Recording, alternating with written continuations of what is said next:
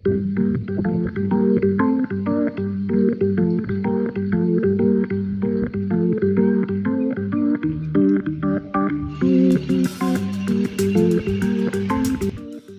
दोस्तों, स्वागत है आपका नए ब्लॉग में। तो दोस्तों, रात में मैं कल आया हुआ था ससुराल तो रात में बारिश होने के कारण मैं रुक गया। तो मैं सुबह उठा तो आया तो नदी के किनारे तो बहुत ही मनोहारी दृश्य मैंने मुझे देखने को मिला। ये जो आप पीछे नदी मुझे देख रहे हैं, ये दुर्वासा की तरफ़ से आती है। और ये ठीक इधर जो चली जाती है, ये आजमगढ़ की तरफ़। और यहाँ जो मुड़ी हुई है तो ये हम आपको बता दें कि मेरे ठीक पीछे है ये प्रसिद्ध द्रोणाचार्य मंदिर जो कि खुटौली में पड़ता है, जिसके बारे में आजमगढ़ वासी कम ही लोग जानते हैं। तो इसकी क्या है विशेषताएँ? यहाँ के स्थानीय निवासियों से चल के हम मिल पूछते हैं। तो आप कंटिन्यू ब्लॉग में बने रहिएगा तो चलिए, चलते हैं।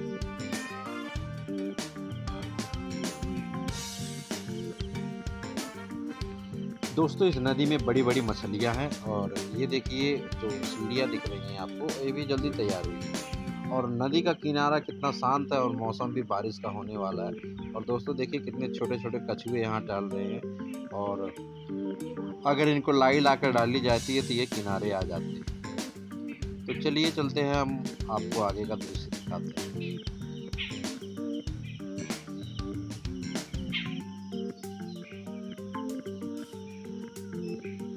दोस्तों, ये जो सीढ़ियाँ आप देख रहे हैं, पहले ये नहीं थी, अब ये जल्दी ही बनी है और ऊपर भी पत्थर वगैरह का काम हुआ जिससे यहाँ का परिसर बहुत ही अच्छा और देखने लायक बन गया। और साफ़ सफ़ाई हमेशा यहाँ होती रहती थी, इसलिए देखिए।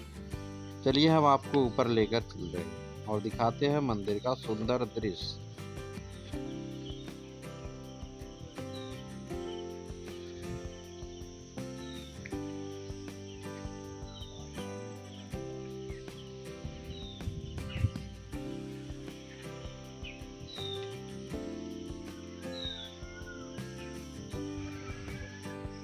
दोस्तों, ये मूर्ति जी जो देख रहे हैं आप, ये द्रोणाचार्य जी की मूर्ति है। और देखिए, कितना ही भव्य रूप है इनका।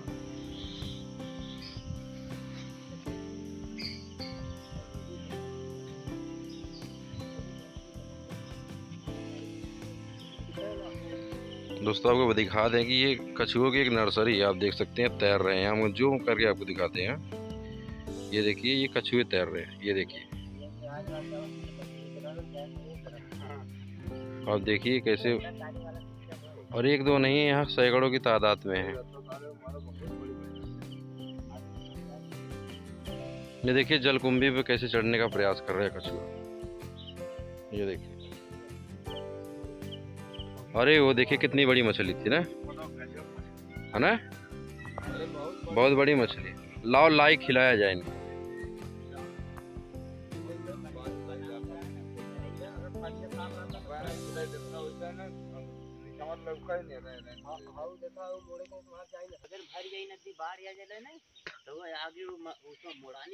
इनको पता है। ना। यहाँ ये सुरक्षित है। हम्म।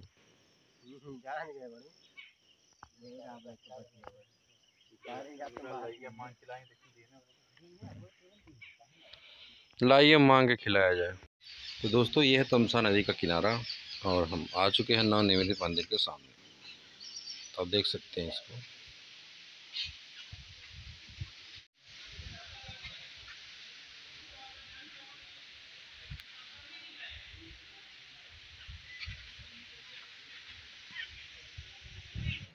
दोस्तों, अब बारिश हो रही है और इतना शानदार मौसम हो गया कि मैं क्या बताऊँ, जान लीजिए कि मुझे अब भीगने का मन कर रहा है।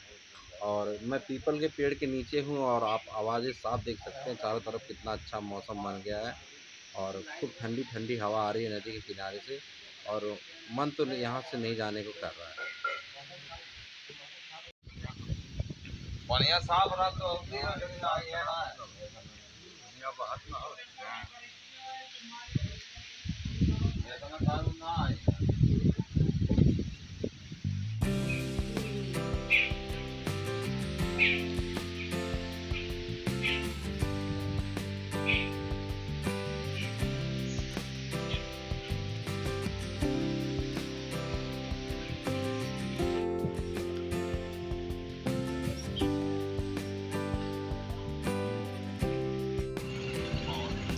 दोस्तों, अभी हम जिस जगह पर है, इस जगह को महर्षि दुर्वासा ऋषि की जो गायों के चरने का स्थान था, ये जो अगल बगल आप जंगल देख रहे हैं तो इसे यहाँ पर महर्षि दुर्वासा जी की गायें चरती थी, ऐसा लोगों का कहना है। और आगे चलते हैं, हम आपको दिखाते हैं यहाँ का सुंदर दृश्य। देखिए, चारों तरफ़ बादल कितने घिरे चले आ रहे हैं, क्योंकि बारिश तो हो ही रही है और बहुत ही जान लीजिए ठंडा हो गया मौसम सुबह सुबह का और ग्रामीण इलाका होने के नाते यहाँ पर दूर दूर तक कोई आ जा नहीं रहा है और सुबह का एकदम, सुबह का एक समय है। देखिए, कितना अच्छा लग रहा है चारों तरफ़।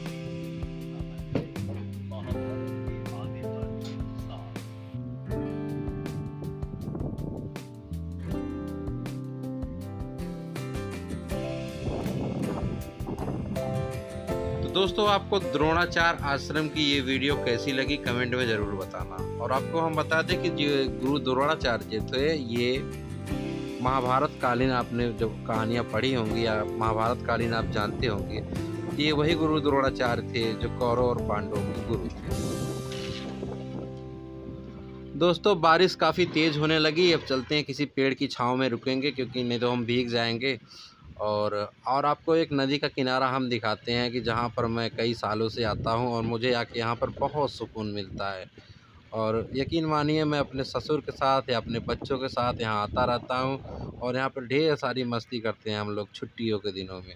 और नदी किनारे घूमने का दोस्तों एक अलग ही मज़ा होता है और जो लोग नदी के किनारे रहते हैं या नदी किनारे घूमने जाते होंगे उनको ही ज़रूर पता होगा। मुझे तो दोस्तों काफ़ी अच्छा लगा क्योंकि मैं आज रुकने का समय मिल गया और मैंने कहा चलो इसका फ़ायदा उठाया जाए और बारिश हो रही थी हल्की हल्की तो घूमते हैं। और अब जो बहुत तेज़ बारिश होने लगी है।